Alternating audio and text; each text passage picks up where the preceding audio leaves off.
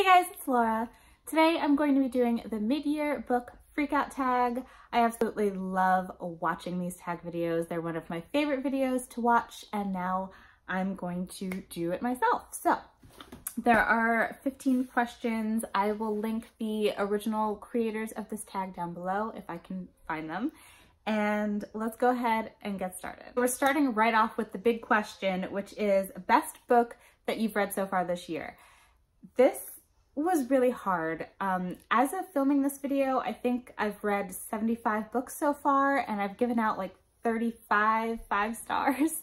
So I read a lot of good books this year. The one that stuck out the most to me so far is On the Come Up by Angie Thomas. So this book follows Bri, who is an aspiring rapper. After a very successful rap battle, she does get the opportunity to record a song that ends up going viral, but for all the wrong reasons. This was absolutely phenomenal. The story, the characters, everything about this just connected with me in a way that nothing else ever has. And it was the same with The Hate U Give, but I actually think I enjoyed this one a little bit more. Angie Thomas is absolutely brilliant at creating well-rounded, complex characters as well as just nailing dialogue. This touched on so many important topics as well that really meant a lot to me. And also I really appreciated all the Black Panther references because Wakanda forever. I loved this. This meant so much to me and it's definitely the best book that I've read so far this year. The next question is best sequel you've read so far this year and that definitely goes to The Well of Ascension by Brandon Sanderson. This was absolutely phenomenal. I think that this might be my favorite book in the series just because of some really amazing scenes that I absolutely loved. Also, this book kind of hit me the hardest.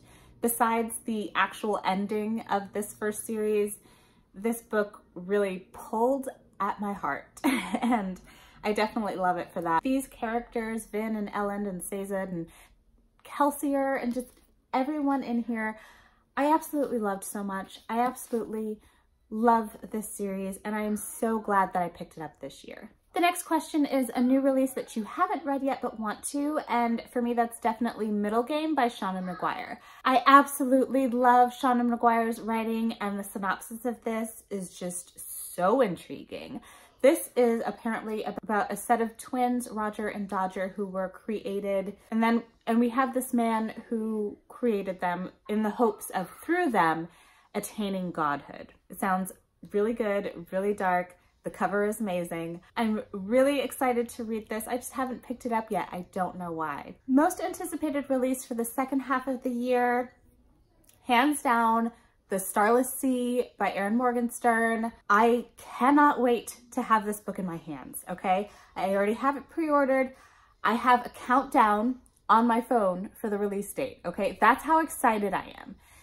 Erin Morgenstern wrote The Night Circus, and The Night Circus is my favorite book of all time. I have very high expectations and very high hopes for the Starless Sea, and I really hope that they're met. I need to like calm down. I need to calm down before the book gets here because I don't want to be disappointed, but my expectations are super high. Question number five is biggest disappointment this year so far. So for me, that is Caraval by Stephanie Garber. So I seek out books that have to do with circuses and carnivals and that's like, that's my thing, you know? Um, the circus is my favorite thing and I want to love every book that I read that involves a circus. This was so promising for that reason and because of the hype surrounding it, I, I was just expecting so much more.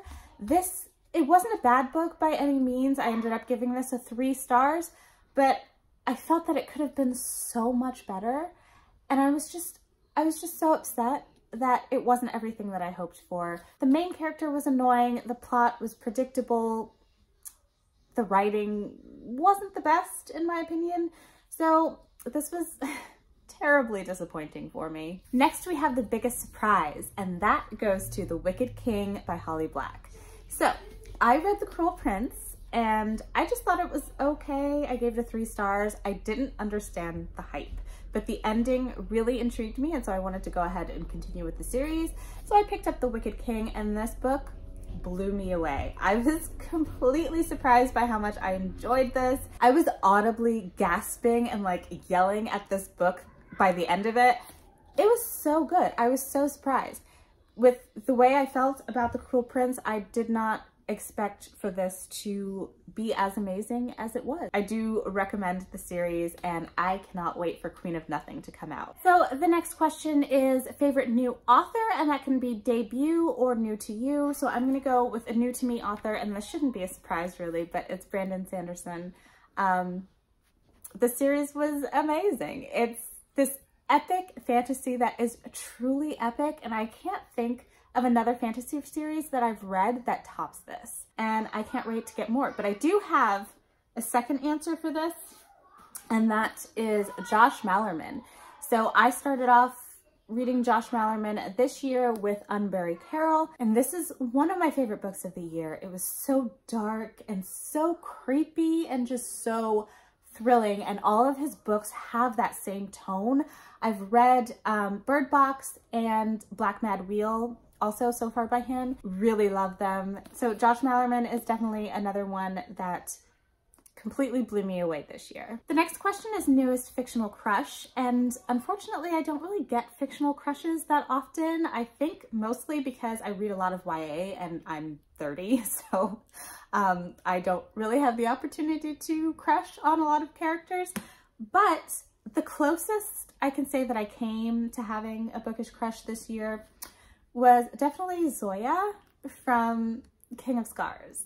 So we meet Zoya originally in the Grisha trilogy, but of course we don't really get to know her as well as we do in this book. And she is completely badass and beautiful and smart, and I kind of fell for her a little bit. So Zoya is my answer for this question. The next question is newest favorite character, and, and I was gonna go with a character or a couple characters from the Mistborn trilogy, but I've started reading this book. This is Sorcery of Thorns by Margaret Rogerson, and this is, I think that this might be my new favorite book. like of the year so far. I haven't finished it yet, so I can't say that officially. I'm 100 pages from the end, but I am loving this. And there's a character in here named Silas, who is a demon that can turn into a big white fluffy cat. And he's funny and scary and I love him. So Silas is my new favorite character and I cannot wait to finish this book because I really do think that it's going to knock on the come up out of the top spot for this year. Okay, now we're going to talk about a book that made me cry. I am a very emotional person, okay? I cry like that. I cry for everything. And there's not many books this year that I haven't cried at the end of or during reading, but I'm going to go with the most recent and kind of the one that made me cry the most, maybe. Um, that is Circus Mirandus, and this is by Cassie Beasley. This is a middle grade story that centers around a circus, Circus Mirandus, and a little boy who is dealing with losing his grandfather. His grandfather told him stories of Circus Mirandus when he went and that's always been something very special between them. His his name is Micah, the little boy, and his parents died in an accident when he was very young. So he's been raised by his grandfather and now his grandfather is sick. His, he's dying. Micah goes through a lot in this book to try to deal with that grief of losing his grandfather. And it was done so incredibly well. This is an amazing story filled with wonder and magic and the circus and grief and it was beautiful and I cried like a baby while reading this. It was so intense and so heartfelt. I highly recommend this book. If you haven't read it yet, Circus Mirandus, it's it's absolutely beautiful. Next, onto a book that made me happy and for that, I'm to go with Once and Future by Amy Rose Capetta and Cory McCarthy. This is a um, gender-bent Arthur, King Arthur retelling, but set in space in the future.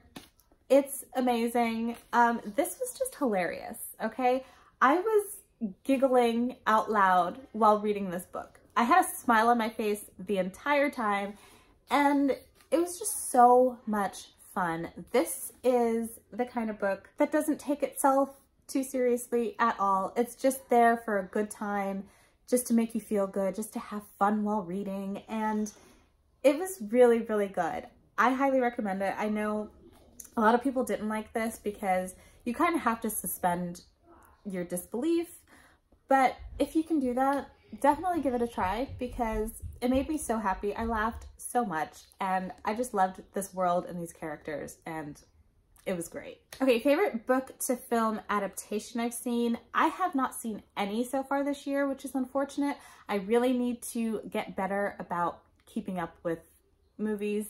Um, I really wanted to see The Sun is Also a Star movie, which was based on the book by Nicola Yoon. Um, so hopefully I will be watching that soon. But yeah, I don't really have an answer for this one, unfortunately. Okay, most beautiful book that you've bought or received so far this year. I couldn't just pick one because I picked up a lot of beautiful books this year. So first I'm going to show you The Raven's Tale. This is by Cat Winters and this cover is stunning. I love this. I love the wings coming from her hair and the red font on a black and gray background. I think it's just absolutely stunning. Plus the under the dust jacket is really beautiful as well.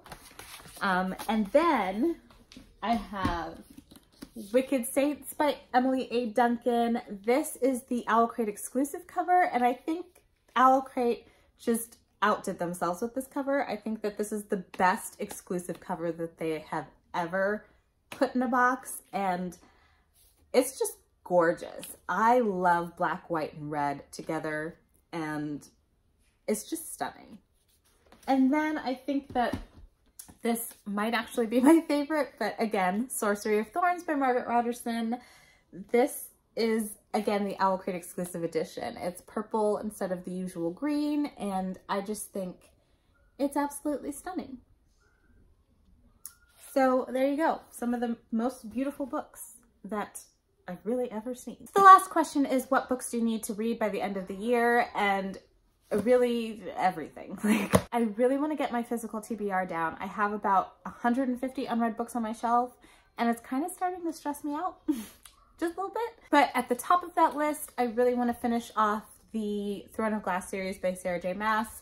I love binge reading series and I kind of put this on hold a lot this year and so I definitely want to pick it back up. I need to pick it up with Heir of Fire. I really enjoyed the first two books. I gave them four stars and I'm really excited to continue them. I also need to catch up on my Owlcrate books. I have been subscribed to Owlcrate for like two years now, almost two years, and I have maybe six or more now, six to eight Owlcrate books that I haven't read yet. So I really want to prioritize prioritize those as well before the end of the year. And that is it. That is the mid-year book freakout tag. I really hope you enjoyed. I absolutely love watching these videos. They're so much fun. It's really great to reflect on what you've read so far in the year and what your reading year has kind of been like. So talk to me down in the comments. Let me know if you've read any of the books that I've mentioned or if you would like to read any of the books that I mentioned. If you like this video, go ahead and give it a thumbs up. Hit the subscribe button if you would like to see more and I will see you in my next video. Bye!